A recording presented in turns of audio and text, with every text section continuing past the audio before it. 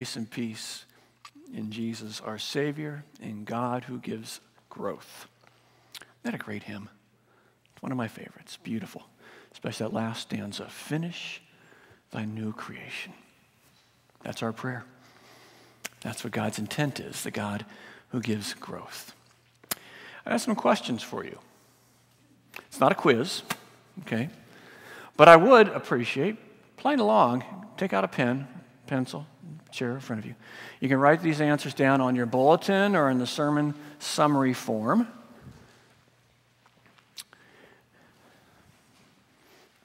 Write down some names.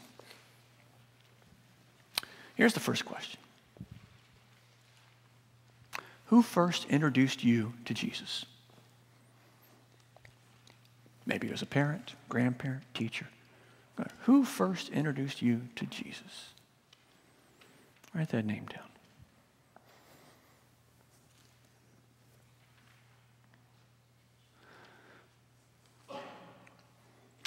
Next question. Who else has helped you grow as a follower of Jesus? Now, this could be a very long list. Just put down a few names. Maybe some of the most prominent ones, or someone who's helping you now. Who has helped you grow as a follower of Jesus.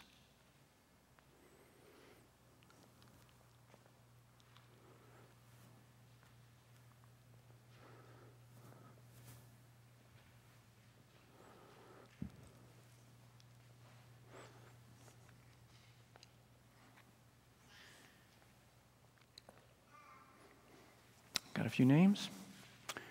And how about this next question? Who are you helping to grow now? Who are you helping to grow as a follower of Jesus?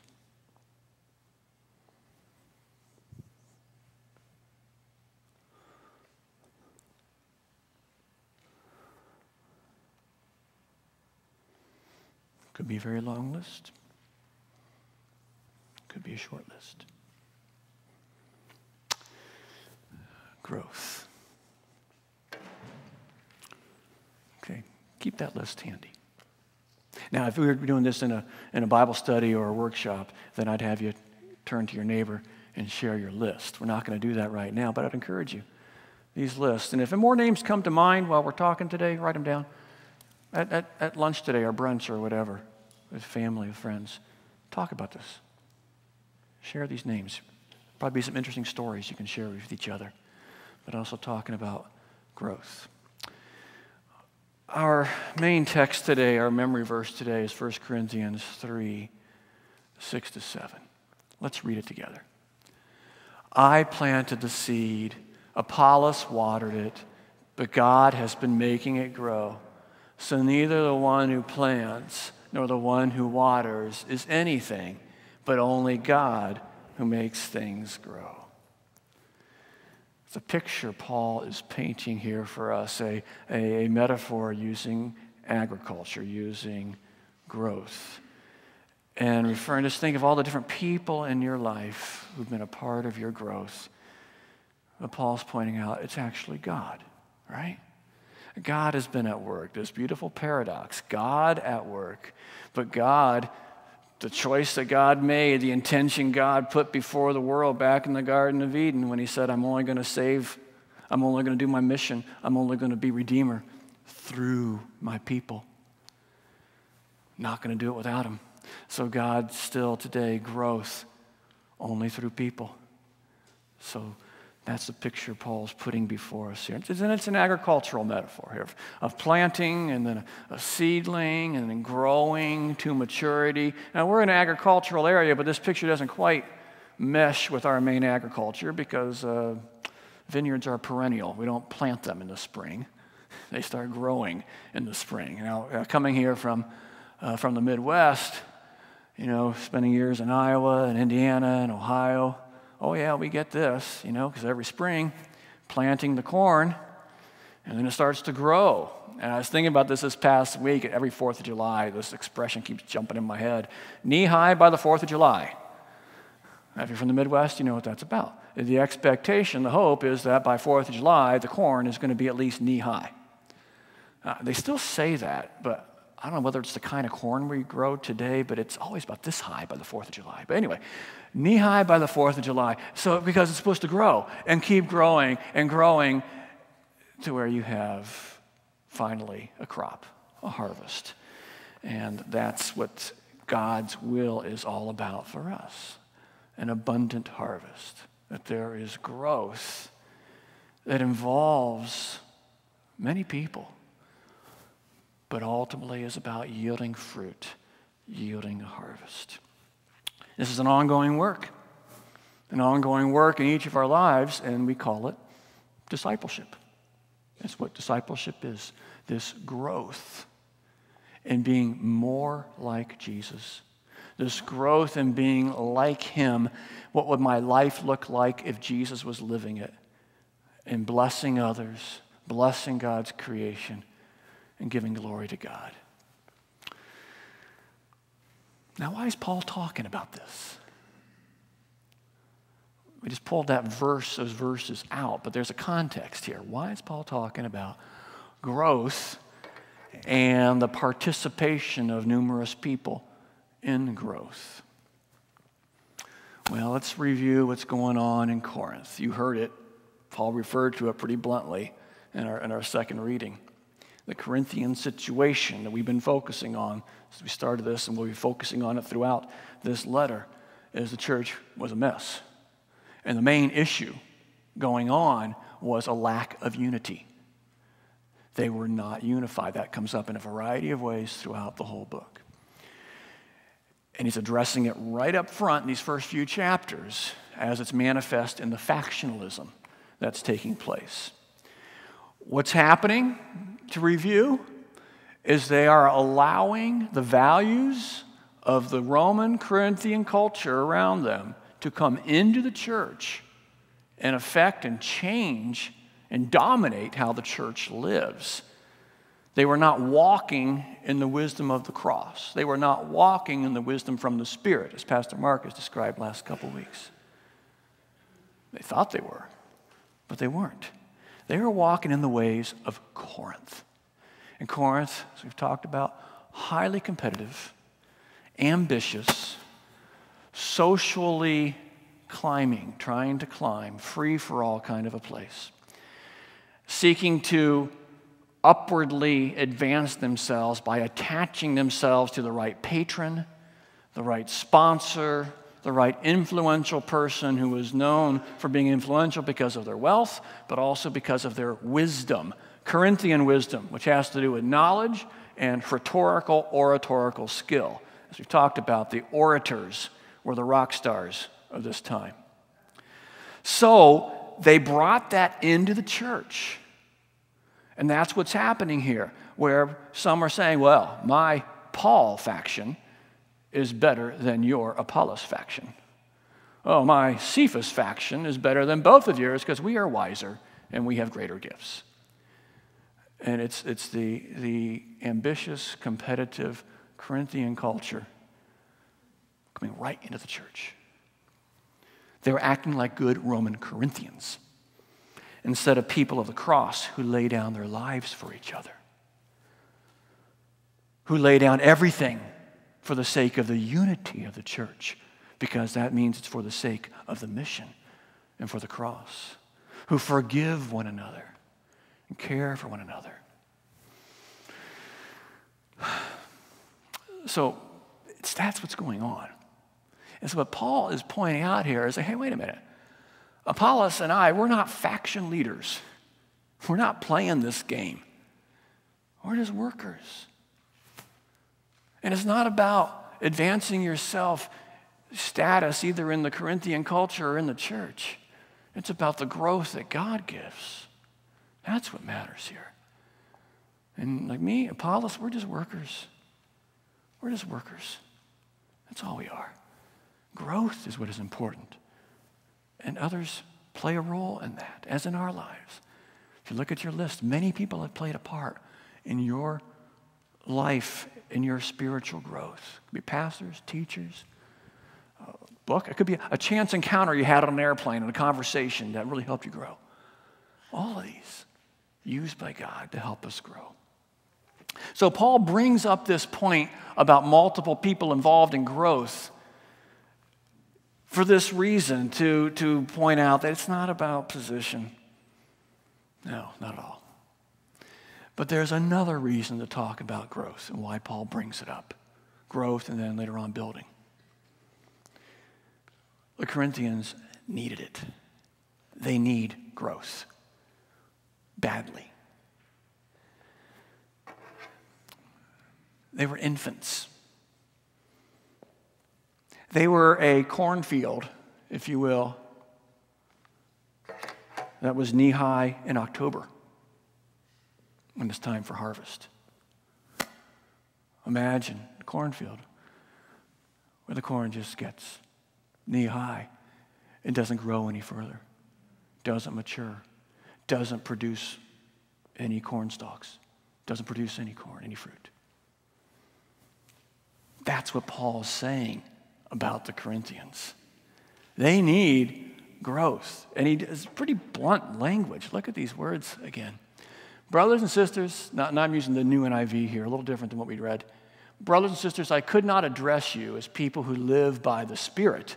Well, that's what we've been hearing about last couple of weeks, what it means to live by the Spirit. Wisdom of the cross, wisdom of the Spirit. And I say, I can't, I can't talk to you that way. You're not doing it. But as people who are still worldly, mere infants in Christ. Now, they're still in Christ. He's talking to them as Christians.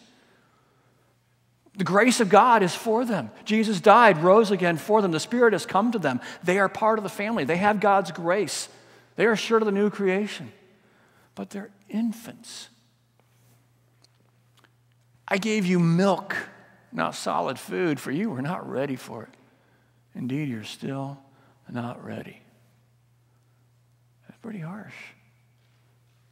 There's an expectation of growth. You know, we have been blessed so richly. We have the grace of God, so undeserved, so over abundantly wonderful, giving us a new creation, giving us forgiveness, giving us the Spirit, giving God's presence, all of that. But His love is such it's even bigger than merely giving it, but also reshaping us transforming us to be more and more like Him. So there's the expectation of growth. And Paul's saying, it ain't happening. And here's the evidence you are still worldly. For since there is jealousy and quarreling among you, are you not worldly? In other words, you are, you're just being Corinthians. You're being like the culture that is outside of Christ. The fact that I can look at this church and there's quarreling and bickering going on, you're infants. You're not applying what it means to be in Christ to something very, very, very fundamental, and that's how you get along with each other. Come on, he's saying. Are you not acting like mere humans? Now, the word he's using there, translated here, mere humans, and our one we read is mortal men, read, understand unbelievers. That's what he's saying. Okay? Are you not acting like unbelievers?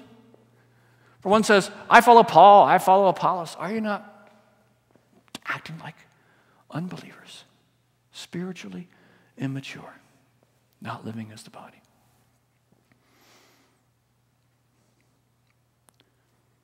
What would Paul say about us? What would he say about our cornfield? About our vineyard? I said it a couple weeks ago. Say it again. Paul didn't pull punches we shouldn't hear. We have a lot of infants. There's a need for growth, tremendous need for growth. There's a need for growth. Here's, here's the test on is there a need for growth in your life? Are you breathing? Okay. That's the overall test. But here is my life, are my values, are my interactions with others, is my basic handling of the stuff of the world, my, my, my welfare, my, my, uh, wealth, I say, my interactions, my job, how I, am I doing it shaped by the one who went to the cross for me? We need to grow. This is discipleship. So then Paul changes metaphors. He actually changes metaphors several times in these 17 verses. Talk about infants to an agricultural, and now he switches to building and construction. And here he introduces something else that's really fascinating, and that is accountability. Accountability for growth. We will be held accountable to the Lord for growth, for how we build on the foundation in Christ.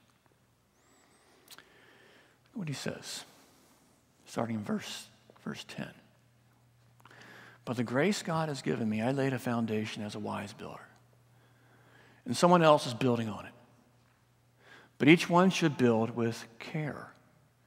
For no one can lay any foundation other than the one already laid, which is Jesus Christ. Okay, we got the foundation in Christ by God's grace. Then going on. If anyone builds on this foundation using gold, silver, costly stones, woods, hay, or straw, he's going decreasing in value, decreasing in quality. Their work will be shown for what it is. Because the day, the day when Christ reappears, the day of judgment, will bring it to light. It will be revealed with fire, and the fire will test the quality of each person's work. If what has been built survives, the builder will receive a reward. If it is burned up, the builder will suffer loss, but yet will be saved, even though only as one escaping through the flames. There's a lot there. And it's a hard teaching, but an important one about the importance of discipleship and growth. You see what he's saying? It's not about the accountability and judgment. It's not about losing salvation, losing the grace of God. We have been blessed to be his children. The cross cannot be taken away, the resurrection cannot be taken away, the Spirit given to us. Okay. But we are held accountable for how we build on that foundation. It's very clear about it. Talking about reward, whatever that means. Still by God's grace, but a reward for good building. And suffering loss for not. That's how important discipleship is. And we must push back against the temptation of, of taking the grace of God as cheap grace. I have Jesus. My salvation is assured. Why do I need to do anything else? Why do I need to grow? Why do I need to go to church? Why do I need to be part of a congregation? Why do I need all that? I've got Jesus. I'm done. Satanic lie. That's how important discipleship is. Not being a spiritual infant, not being a, a knee high corn plant, but growing in the marks of discipleship, as we've been talking about, growing as a child of God and bearing fruit, blessing to others, blessing to God's creation, a blessing to our Savior. So then Paul puts before them the vision of what they really truly are. And we've talked about so much of the Christian life is really a matter of be who you are. God, by His grace, has declared us to be something. And now our life is about trying by His grace to live up to that. Who are we? What are they? A temple. A temple. Okay? Think of this little bitty Corinthian church, living, meeting in a house church with all of its troubles. And Paul says, You are a temple. You are a temple. Not the building, but you, people. He's gone from infancy to the temple. Look what he says. Don't you know that you yourselves are God's temple and that God's Spirit dwells in your midst? If anyone destroys God's temple, God will destroy that person. For God's temple is sacred, and you together are that temple. Whoa. I said Paul doesn't pull punches in this, in this letter. What's he mean here? Anybody destroy God's temple? I'll tell you what, he's not talking about persecution. He is not talking about outside forces pushing against the church. He's talking about the church from within being destroyed by not giving attention to growth and discipleship a lack of helping each other to grow. Now, notice, I like, I like this translation. It brings out something that's important. You together are that temple. The word Paul uses there is a plural, second person plural, you together. Later on, he's going to talk about us individually being a temple. That comes up in chapter 6. But here, it's us together as the people of God. We are the temple. That's what's being built. So we are a cornfield seeking to grow to maturity. We are a building rising up to being finished. We are a temple where God and humans come together, where heaven and earth are one. But you see, by wording it this way, Paul's bringing out a very, very important point. This is not just about how we are building ourselves, although that's a big part of it me growing in the marks of discipleship, me growing spiritually. How am I growing? And maybe that's been on your mind as I've been talking. How am I growing? How are you growing individually? But Paul's picture here is bigger than that. How am I participating in the growth of others? You see, that's not just the pastor's job, it's not just the staff's job, it's a job of the whole body the whole St. John's community. We are responsible for each other's growth and to each other, to work together for our growth, to grow from infancy to being a spiritual temple. Now, we've been talking about the Corinthian culture and how it was coming into the church and undermining what Paul had done and what the church is about. And we talk about how, you know, our American culture, our American culture, there are parts of it that are doing that to us. And right here, we go face to face with something that's really big.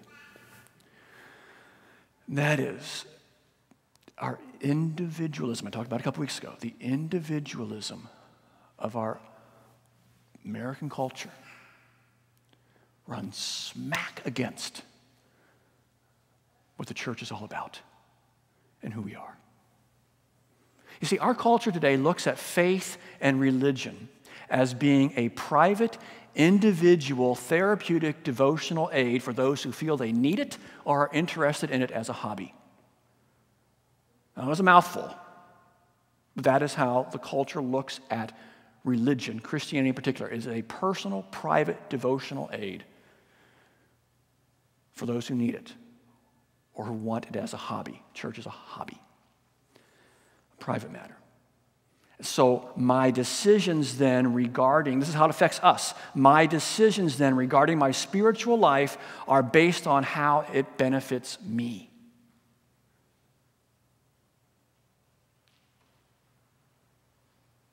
When I was talking about being accountable for building, for accountable for growth, were you thinking about your own growth? or the growth of the people around you. See? That's, that's the American individualism, shaping how we think about church. Who are we? We are a body, we are a community. We work together, we serve together, we grow together, we share responsibility for each other, at least we're supposed to be. That's what a church is. What this means for us, we think about the things that a church does differently. What are we doing now? Worship on Sunday morning. We're here. You're to be here. I'm to be here, not just for my spiritual growth, but for each other. Recognizing that my presence and the encouragement, the interaction, the singing together, the praying together, is about the growth of all of us. And so my decisions on do I go to worship are not just about do I feel a spiritual need for it? I'm part of a body. I'm responsible for the people of St. John's. I need to be there. Growing together in a small group, joining a small group, joining a small Bible study, small group Bible study. Is that just about I need to grow spiritually? On one level, it is, but it's also my presence. My presence, my input, my discussion, my prayers, my fellowship will help others grow. And I'm being held accountable for how well I do that. Working, serving together in the community around here. Now, it's easier to see how that's for others, but also amongst us as we work together. The encouragement, the fellowship, the serving is about growing each other. You see, that's the church. You together are a temple. It's not just my cornstalk, it's the cornfield. It's not just my vine, it's the vineyard. And I am called to grow and to participate in the growth of others. I want to give a heads up about a major opportunity for us putting this into practice. Um, this fall, we're going to be doing a, um, a, worship series that involves a small group um, element as well, a small group campaign, if you will. It's going to start end of September and run through the beginning of November, seven weeks. We're going to be focusing on the I am statements of Jesus. And we'll be talking about those on Sunday, but also we're going to be in small groups during the week with a video based lesson discussing, sharing, seeking to grow, but also seeking to serve. Okay, that's coming up. We'll be talking more about that in the next couple of months. And I really want to encourage you to be part of it as we together seek to grow. I'm going to be looking for people to host those small group gatherings. I'm not saying to teach, not necessarily being a Bible study teacher, but to host, being hospitable. We have no shortage of hospitable people in the Napa Valley. We're very hospitable. We need, we need people to host those gatherings in their homes. We'll be talking about that uh, coming up. So start praying about that. It's a way for us as the body. We've got to grow. We have to grow. We have been blessed by a God who wants to be growing in us, but has promised He's going to do it through each other, through us. So the questions we need to be asking ourselves is not just how does God want me to grow, but how is He calling us to grow? And how is He calling me to help others grow? These questions. Think about them. Writing down names. Talk about it at lunch or brunch today. And give thanks. Give thanks to God for the person who introduced you to Jesus. Give thanks to God for the people who've been part of your growth and are still part of your growth today. And give thanks for the privilege of being used by the God who gives growth to be the privilege of being part of the growth of others. And above all, give thanks to God who makes things grow. Amen. Let us pray. Our Father, I thank you. Thank you, Lord, for your grace, for calling us as your own, for giving us new birth, for giving us a place in your cornfield, a place in your vineyard, for giving us, Lord, to build on your foundation. We praise you, Lord, for the cross, for the resurrection, and your abundant grace, which is showering upon us continually. Lord, we praise you that we are a part of a body, that we're not alone, and that we have the chance to grow because of your work in other people's lives. And we have a chance to help them to grow. Lord, be at work in us. Help us, plural, to grow by your grace. In Jesus' name.